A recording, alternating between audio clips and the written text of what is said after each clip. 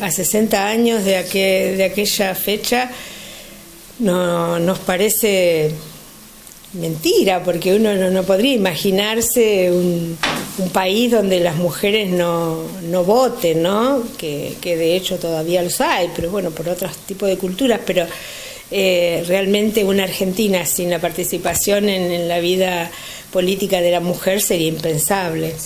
Eh, realmente esto se llevó adelante eh, durante el gobierno de Perón, a instancias de la lucha de Eva, por supuesto, incansable y tenaz como todos sabemos que fue, pero también tenemos que reconocer, tenemos que decir que eh, desde comienzos del siglo XX hubo eh, pedidos, intentos y también lucha de otras mujeres como Victoria Campo, bueno, eh, distintas, ¿no? Distintas mujeres feministas de, los comienzos del siglo.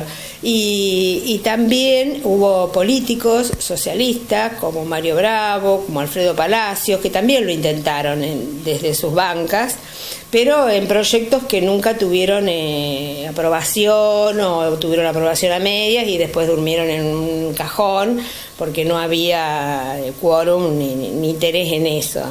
Eh, incluso cuando fue la propuesta del peronismo, ¿no? de Eva, la lucha de ella por el tema de instalar el voto femenino, eh, también fue muy, muy discutido. Yo tengo recuerdos muy, muy profundos y de muy pequeña de actividades militantes de mi madre y de, de momentos que se vivieron en mi casa, que a veces me sorprendo yo misma porque saco cuentas eh, ¿no? Eh, y digo, era muy pequeña cuando pasó tal o cual cosa.